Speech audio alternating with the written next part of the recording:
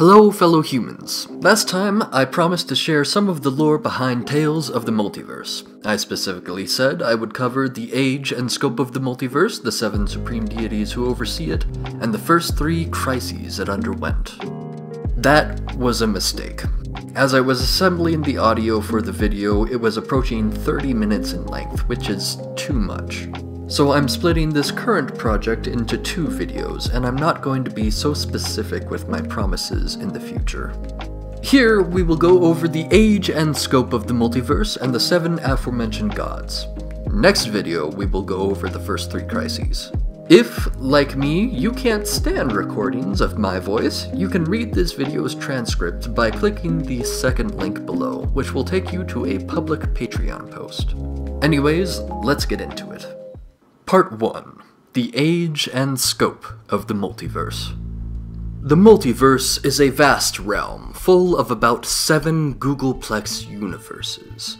If you were to attempt to write this number out, you could fill our entire observable universe with zeros, and it still would not be nearly enough. It is also unthinkably ancient and ever expanding. Every second, countless new universes are born, exploding forth from the miasma known as the space between. It has no edge or wall, but rather is hyper round, looping back around on itself.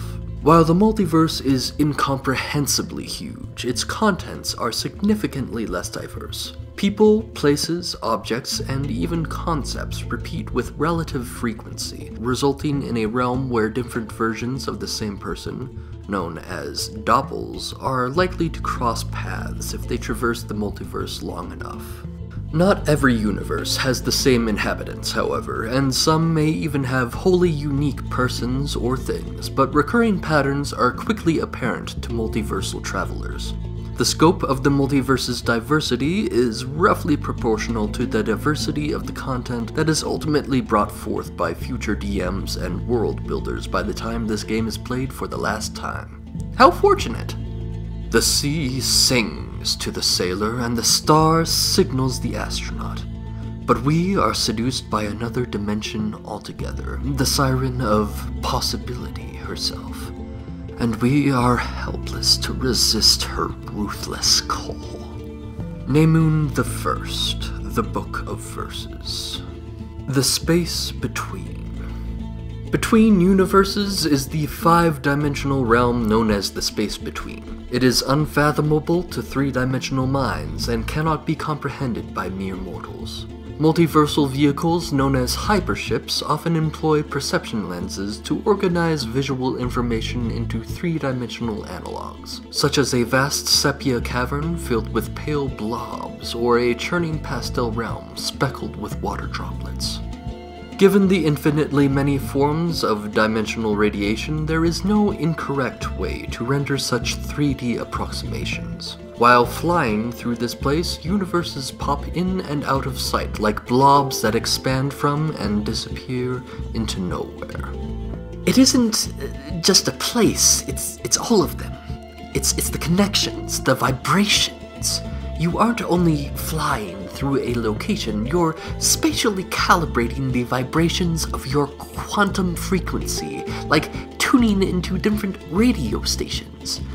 Uh, but, but you are uh, also sort of traveling through a place it's literally impossible to describe without absurdly complex mathematics. Nalutnas II, the Book of Verses. The Age of the Multiverse. The multiverse is very nearly at the end of the Seventh Age. It is almost 7 AU old. AU stands for Average Universe Lifespan, which is 1 googol years. Nefarious apocalyptic activity and spikes in multiversal entropy increase many times beyond the usual at the closings of each age, causing the expansion of the multiverse to actually reverse for a time as more universes perish than are born. It is into this grim paradigm that you are thrust into. Each trial runs the risk of being the one that causes the multiverse to enter an age of decay.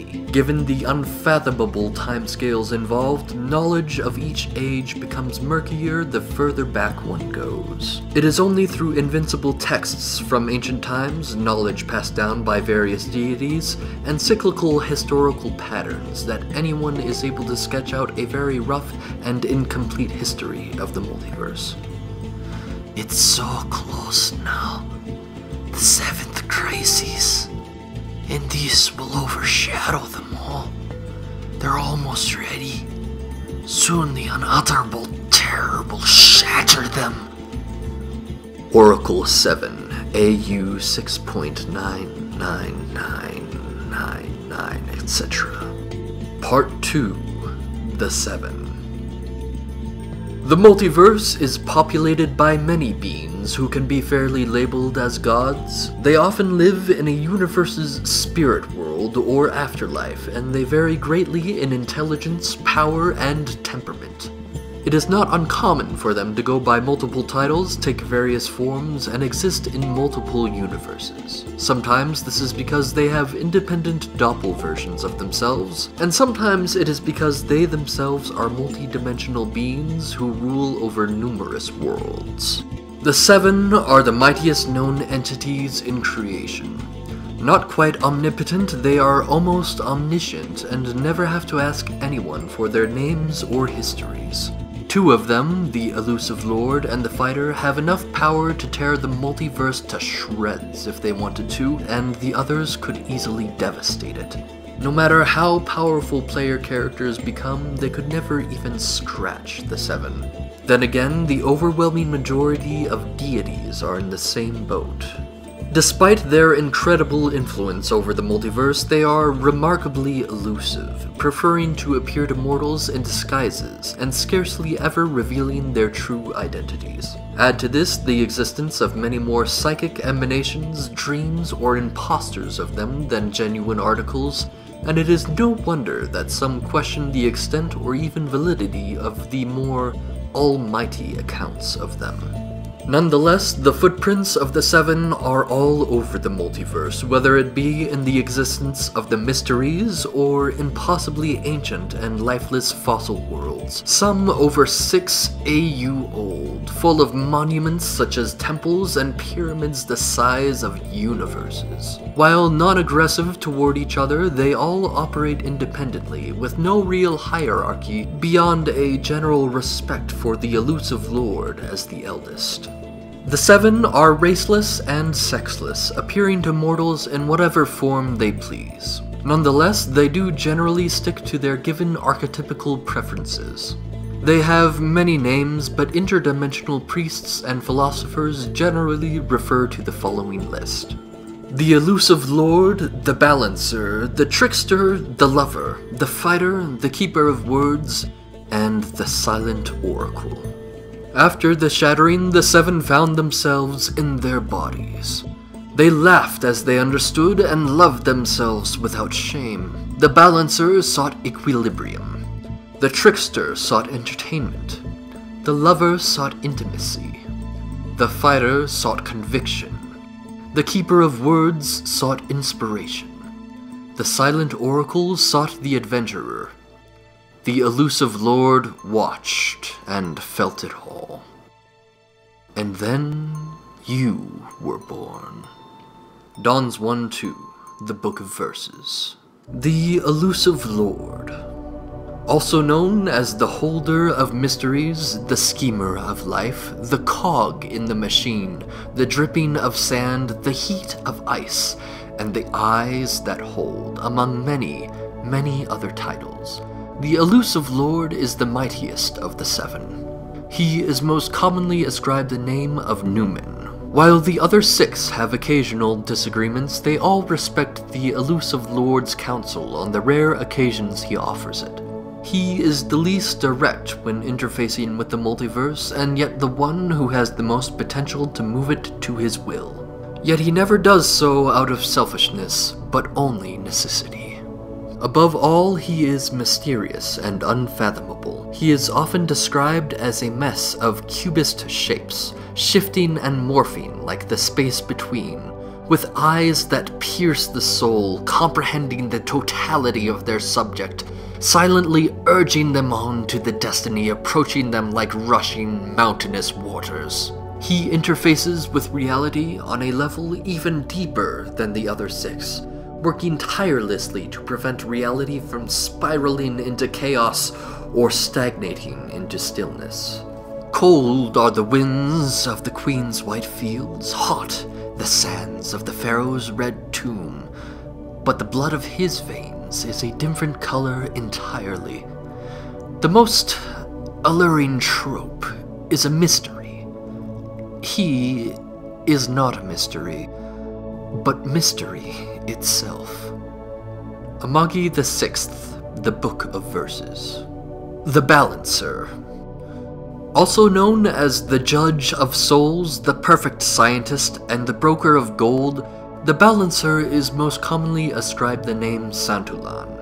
Typically depicted as a naked hermaphrodite and called by every pronoun with no apparent preference, they are revered by judicial workers, merchants, and scientists alike. They value accuracy and fairness above all, and do not barter with justice. The crime must fit the sentence, and there is no bribing the perfect judge. They oversee everything from final judgments of souls to laws of nature to the multiversal mysteries and much, much more. There is a place for all things in the multiverse, even my brother Taylor. Distasteful as his antics may be, Santulan, the Book of Verses. The Trickster, also known as the Everchild, the Clown, and the Teacher of Lessons. The Trickster's motivations and cosmic purpose are the most ambiguous of the seven. Called by the name Taylor, he is typically portrayed as a lean, slouching male, but alters his shape more frequently than the rest of the seven. Though, even when he appears as an elephant, he seems worryingly emaciated. Worshipped by gamblers, pirates, vigilantes, and especially duplicitous species, he is the subject of many teaching stories and the butt of many tales, but he is not truly malevolent. As near as anyone can tell, for all his plots and schemes, which can imperil everything from individuals to entire universes, he just wants to have a good time. Then again, perhaps that's just what he wants you to think. Look over there! It's a distraction! Literally everyone looks while I make my daring escape. Taylor, the Book of Mythsakes. The Lover. Warning moderate spice ahead. Also known as the Heartmaker, the Fairy Mother, the Singer of Lullabies, and she who is consistently depicted without clothing, the Lover is revered by persons in every social category there is. Ascribed the name Amari, she is the most commonly worshipped fertility figure of multiversal societies, and, res- and resides over every form that affection takes place. That affection. That affection takes. Blah blah blah blah. I can speak, I can English, and resides over every form that affection takes. Poets write often of her leisurely walks through beautiful landscapes and how every beast seems to recognize and adore her. While she is most commonly depicted as a female, she is known to change her sex with all the whimsical nonchalance of a fairy casting aside pesky clothing. She is even less picky about her partner's genders, but always sticks to other deities rather than mortals, and never engages in incest. The best evidence for the existence of the Seven is said to be in the startling number of deities who, who identify as the children of Amare. Uh, there is a joke amongst the gods that about one in ten gods is not a lover of a is not a child of the lover. Excuse me, uh, but this is clearly an exaggeration, uh, as as she refuses to engage in incest and yet continues to uh, quite a lot. Mm. The Embarrassed Monk, the Book of Mythsakes. The Fighter. Also known as the Heart Render, the String Cutter, and the Quickening Pulse, Koga is worshipped and prayed to by such people as warriors, gladiators, and gangsters. He carries a white club said to be made from either the first dragon or the monstrosity featured in The Beastings. The fighter does not relish his role as overseer of violence in the multiverse, but sets to his unseen functions with grim purpose. Despite his hulking, scarred, brutish form, he is cool-headed and the most masterful of tacticians, and his counsel is reasoned and designed to minimize the inevitable loss of life. The ants have been warring over continents before you even evolved, but they fight for their lives. The weeds have been stealing sustenance for their seeds, the birds taking eggs for their young, and you stand before me and ask how best to terrorize without thought of your own subjects. The great struggle of war is not to kill, but to live. I call you wretched. Koga, the Book of Teeth. The Keeper of Words. Also known as the Scribe of Dimensions, the First Librarian, the Painter of Skies, and Fathomless Muse, Igama is revered most by scribes, storytellers, and artists of all kinds. She writes everything that ever happens in the legendary Book of All and knows everything that has ever been written as if she herself penned the words. She writes in all languages with any handwriting and is said to whisper in the ears of all who dream, inspiring their minds with abstract poetry. Despite her role as a factual documenter, she is known for boundless creativity in all its forms. She never fails to encourage even the most amateurish of artists. Known for her sly smile and dry wit, she usually appears as an elderly woman with a warm demeanor. The way she looks at you, it's like you're sharing this inside joke that no one else knows. You, just kind of hope that you aren't the punchline, you know? Dime of Atlantis Pay, the Book of Mythsakes. The Silent Oracle. Also known as the Omen, the Malak of Tragedy, and the Shadow in the Corner, Umhlola appears most commonly before apocalyptic calamities. She is the fatherless daughter of the Keeper of Words. She typically appears as a young woman in simple robes, whose eyes are unseen in the shadow of her drawn hood. She never ever speaks, but gives hints to avert disaster by drawing people's attention to symbols or visions, or causing the words of others to echo in their ears. Her signature sly smile is far more hair raising than that of her mother's. If you see her in a dream, you should be terrified. If you see her face to face, you should start running faster than you've ever run in your entire life. The Wretch, the Book of Teeth. With that, we've reached the end of this video.